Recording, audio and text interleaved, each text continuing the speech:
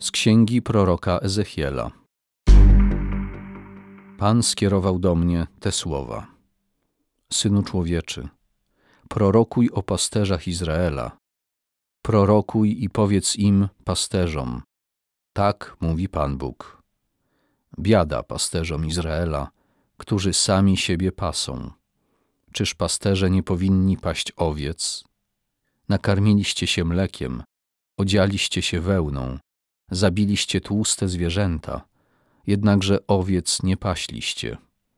Słabej nie wzmacnialiście, o zdrowie chorej nie dbaliście, skaleczonej nie opatrywaliście, zabłąkanej nie sprowadziliście z powrotem, zagubionej nie odszukiwaliście, a z przemocą i okrucieństwem obchodziliście się z nimi. Rozproszyły się owce moje, bo nie miały pasterza i stały się żerem wszelkiego dzikiego zwierza. Rozproszyły się, błądzą moje owce po wszystkich górach i po wszelkim wysokim pagórku i po całej krainie były owce moje rozproszone, a nikt się o nie nie pytał i nikt ich nie szukał. Albowiem tak mówi Pan Bóg.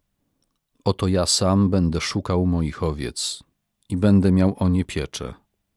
Jak pasterz dokonuje przeglądu swojej trzody, wtedy gdy znajdzie się wśród rozproszonych owiec, tak ja dokonam przeglądu moich owiec i uwolnię je ze wszystkich miejsc, dokąd się rozproszyły, w dni ciemne i mroczne.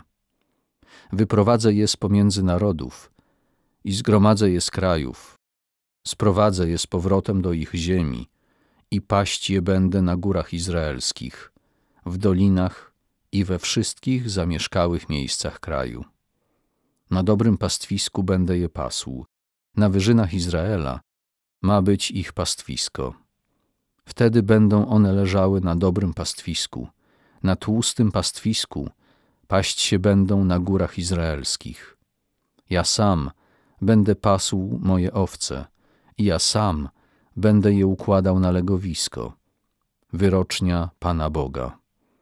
Zagubioną odszukam, zabłąkaną sprowadzę z powrotem, skaleczoną opatrzę, chorą umocnię, a tłustą i mocną będę ochraniał. Będę pasł sprawiedliwie. I ustanowię nad nimi jednego pasterza, który je będzie pasł, mego sługę, Dawida. On je będzie pasł, on będzie ich pasterzem, a ja, Pan, będę ich Bogiem. Sługa zaś mój, Dawid, będzie władcą pośród nich. Ja, Pan, to powiedziałem. Zawrę z nimi przymierze pokoju, a dzikie zwierzęta wytępię z kraju, tak iż będą mogły owce bezpiecznie mieszkać na stepie i spać w lasach. Błogosławić im będę oraz ziemią wokół mego wzgórza. Będę zsyłał deszcz w dogodnym czasie. Będzie to deszcz niosący błogosławieństwo. Drzewo polne wyda swój owoc, a ziemia wyda swój plon. Będą oni żyli bezpiecznie w swym kraju i poznają, że ja jestem Pan, gdy skruszę kłody ich jarzma i wyrwę ich z ręki tych, którzy ich ujarzmiają. Nie będą już odtąd łupem narodów, ani nie będą pożerać ich zwierzęta kraju, ale bezpiecznie będą oni żyli, przy czym nikt ich straszyć nie będzie. Sprawię, że powstanie dla nich urodzaj o wielkim rozgłosie, by już nie dręczył ich głód w kraju i by nie musieli znosić szyderstwa narodów.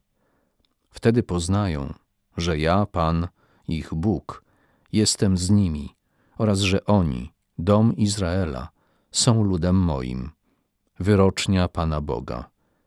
A wy, owce moje, jesteście owcami mego pastwiska, ja zaś Bogiem waszym, wyrocznia Pana Boga.